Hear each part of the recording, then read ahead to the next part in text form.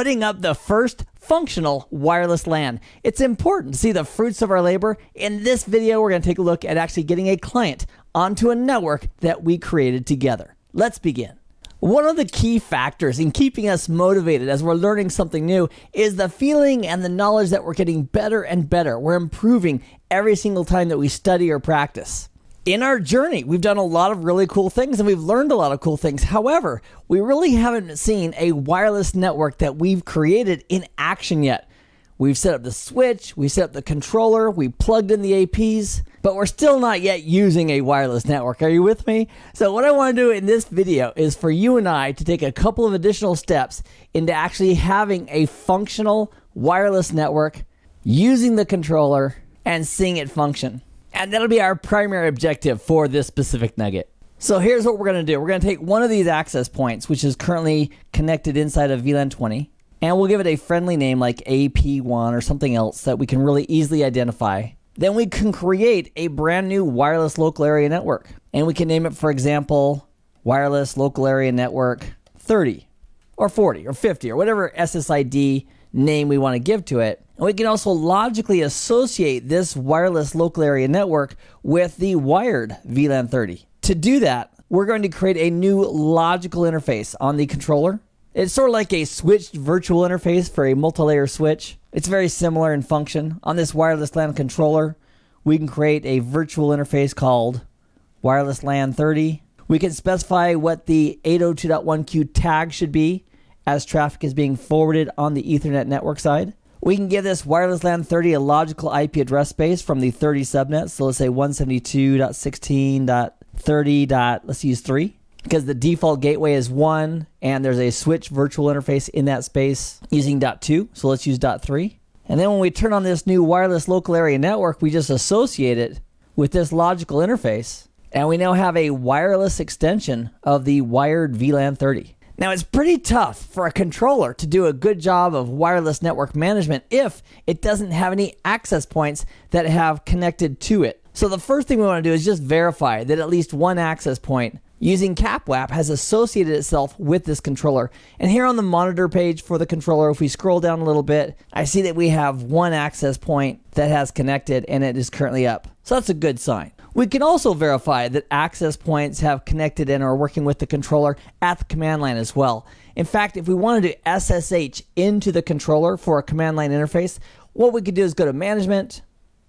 And under management, if we go to telnet and SSH, by default, SSH is being allowed and telnet is not. And that's a pretty good policy, by the way. There's not too many good reasons you'd want to open up telnet on a production network. So if we want to have a console interface, a command line interface, and not do it through ESX, through VMware, we can simply SSH over. Currently, I'm connected to a router. If we want to open up a new SSH session to the controller, all we need to do is go to File. This is using Secure CRT. The process would be very similar in PuTTY or some other SSH application. I'm going to select Quick Connect. We'll put in the IP address, put in the username we want to connect as. We'll click on Connect.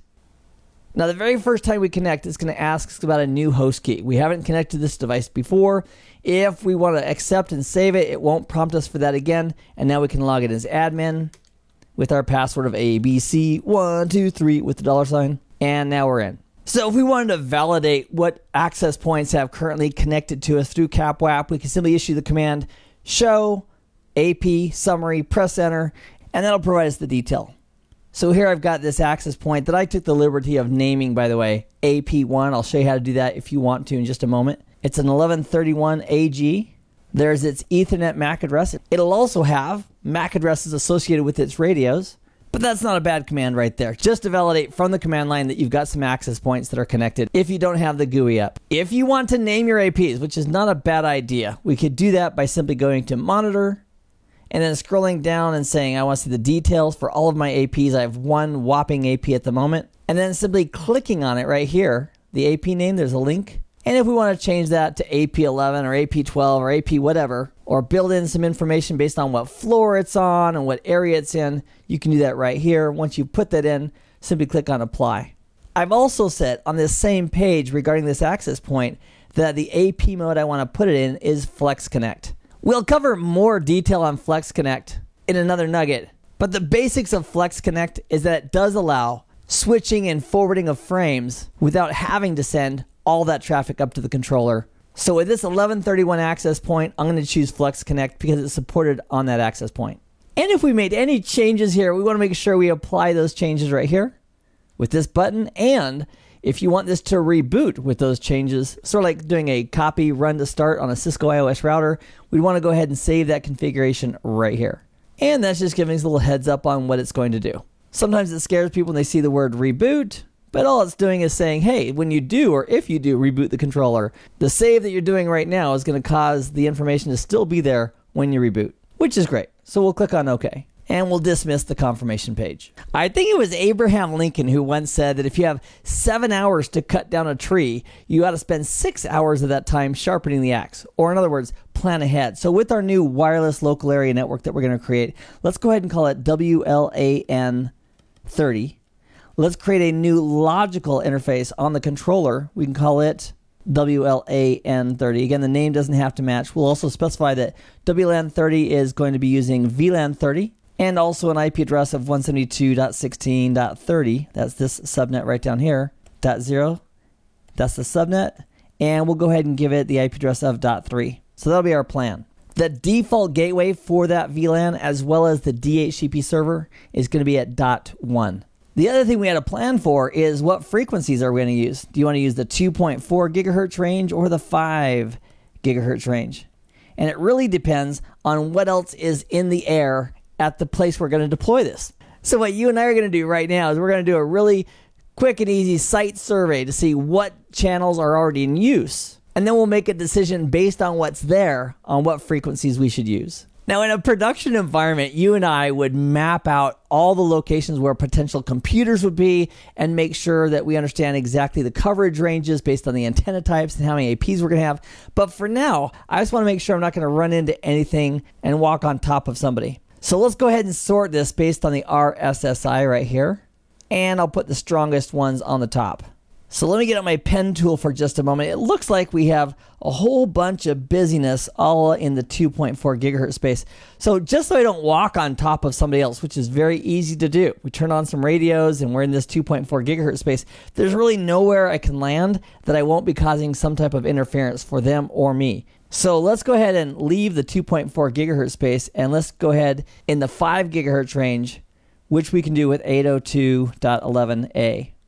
And the 1131s that I have, the access points, support B, A, and G. So there's no problem in going up to the 5 gigahertz range if we use A.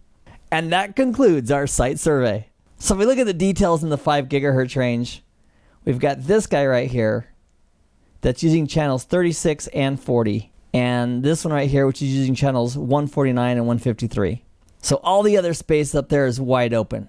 Fantastic. So back at the controller, let's go up to controller and then go to interfaces. And what we're going to do is we're going to create a brand new logical interface. Think of this like an SVI, a switched virtual interface on a switch, except this is a logical interface on the controller. So it currently is showing us our management interface on VLAN 10, the service port, which has the address of 192.168.1.185. Also, by the way, for this service port, if we want to access it, from a non local subnet, we are going to have to add static routes to the remote networks we want to reach it from. So right now, we are connected to this IP address, 192.168.1.185, but it's only because my computer is also on that same subnet. So that's just one caveat with the service port I wanted you to be aware of is that there's no concept of a default gateway when it comes to the service port. We need to add static routes. So for example, if my management computer was at 10.12.13.5, I would have to add a static route that included the next hop to go ahead and reach my IP address because the 10 is definitely not on the same local network that the service port is configured for. So we can add network routes right here as well. All right, now having said that, let's go ahead and create a brand new logical interface that we're going to associate with our new wireless local area network. And to do that, under interfaces, in the upper right hand corner, we have this beautiful button called New. We simply click on it. So this doesn't have to match what your wireless local area network is going to be, the SSID. Let's call it VLAN 30. That way, when we see this logical interface, we'll realize, oh, that's the logical interface for VLAN 30. And the VLAN identifier is going to be the .1Q tag of 30. Just like that. Now, when we click on apply, it's going to take us to more details of this newly created interface. So all we need to add to get this functional is we have the VLAN identifier. It's already filled in. It's 30. Let's give it the IP address for this virtual interface, which is going to be 172.16.30.3. We agreed to. And let's go ahead and put our mask in. And the default gateway for this subnet, which is 172.16.30.1, which is the router with one of its sub interfaces. If we scroll down a little bit further, to have the primary DHCP server. Now, the reason this becomes important is because when clients connect to the wireless network that we're going to associate with this interface, they are going to need an IP address. If you want to hand out an IP address, there's really two ways of doing it. One, on some controllers, you can configure a DHCP pool right on the controller. And the other option is to go ahead and point to a valid DHCP server that is handing out IP addresses. So what we're going to do is do 172.16.30.1. That is a very busy router. He's acting as the DHCP server. He's the default gateway. He's an NTP server. He's got a lot going on, and he's happy to serve. And that's really all the basics we need for this virtual interface. Now, to apply this, we're going to scroll back to the top and click Apply. And we have a little warning saying that changing any of the parameters for an existing wireless local area network that's associated with this interface may cause a temporary disruption.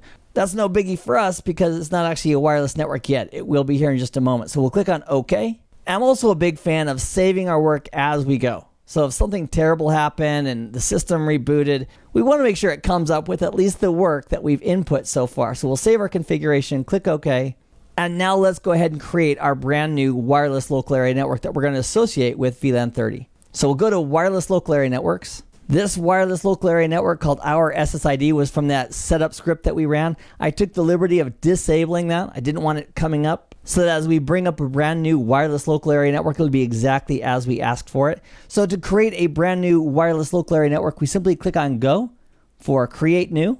And it's asking what type. We want to create a wireless local area network. It's asking for a profile name. I'll call it our profile for now. More to come on that. And the SSID. Let's call this wireless local area network dash 30. That way, when we see it, we can think, oh, okay, wireless LAN 30 is associated with the VLAN 30 logical interface on the controller that's mapped to VLAN 30 on the wired side. And this idea is simply referring to the number of wireless local area networks that are configured. So we had the one from the setup script, and this is going to be our second wireless network. So we'll click on apply. And when we click on apply, we want to do a couple things. Number one, on the general tab here, we want to click on enabled if you want the wireless local area network enabled, which we do. Also, the radio policy right here, you can say, you know what? I want A and G, or just G, or just B and G, and we're going to go A only. And that'll put us up in that 5 gigahertz range so we don't bother anybody in the 2.4 gigahertz range, which, based on the inSSIDer information that we just looked at, is completely crowded space. So we're going to go ahead and do 802.11a only and stay clear of all those guys down at 2.4 gigahertz. And check this out. This is where we're going to associate our VLAN 30 logical interface, which includes all the details that clients who connect to that wireless network are going to need. For example, a DHCP server so they can get an IP address along with the default gateway. Now, the other thing that could stop our success is if we have authentication that we can't get through. I've got separate nuggets for you just on authentication. So for now, as a temporary display of functionality, let's go up to security. And for layer two security, we're going to say, you know what? We're just going to go ahead and use none, which means anybody can associate, authenticate without providing any credentials whatsoever and be connected to our wireless local area network. In a production environment, that wouldn't be a good thing except for perhaps a guest network. But for now, I just want to demonstrate getting this up and running. So with those in place, we'll go ahead and click on apply. That was regarding the security tab. I'm going to click apply again regarding the general tab. And I'm going to click on OK, recognizing that if I make some changes, if there's a production wireless local area network in place, I may cause some temporary interruption of that service. So I'm going to click on OK. And then I'm going to go ahead and save so that when this thing reboots, the configuration that we just created will still be there. So the cool thing is the controller has communicated that information out to the radio.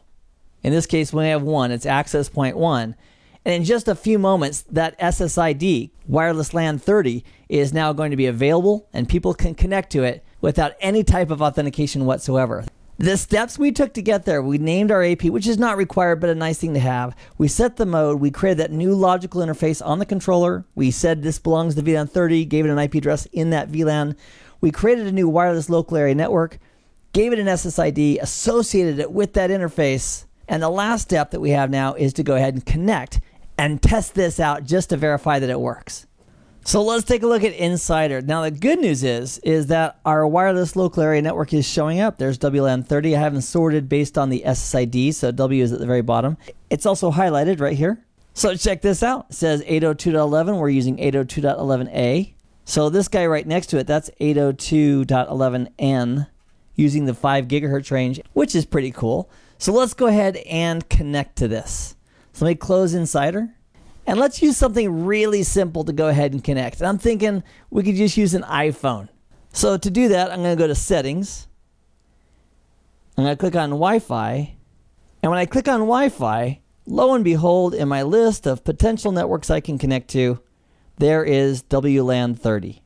So I'll go ahead and connect by touching it. I get a little check mark next to WLAN 30. And let's verify if I can ping something. So I'm going to open up a little app called Ping. And let's ping 172.16.30.1. So even though I'm in this wireless local area network here, the controller is linking that to VLAN 30. And I should be able to ping my default gateway on VLAN 30. So I click on start, and sure enough, I've got pings that are flying, no problem. I'll click on stop. Let me clear it. And let's try one more thing. So logically, I'm in this network that's logically part of VLAN 30 on the wired side, and I believe routing is all set up. Let's just see if I can ping my computer. I've got a host computer here. It's 192.168.1. dot something. Let's find out what that is together. So let me bring in a command prompt real quick. We'll do an IP config, and it's 1.47. So let's verify that we can ping 147 from our wireless client. So a ping of 192.168.1.47. We'll click on start, and sure enough, those pings are working. And I'll go ahead and stop that as well. One other really important aspect that I want to point out right off the bat is that from the controller, if we want to see which clients are currently connected to our wireless networks, that is very easy to determine. In the GUI, we simply go to Monitor. On the left hand side, click on Clients, and it will show us exactly who's connected. So we can scroll right and see more details regarding that as well. So this MAC address here is the MAC address of my iPhone. And if we click on that, it'll give us additional details regarding our current connection. In this video, we put a couple of additional pieces in place, including a virtual interface for the controller and a brand new wireless local area network, so we could have proof of concept for a functional wireless local area network. I am glad you joined me. I appreciate the time. I hope this has been informative for you, and I'd like to thank you for viewing.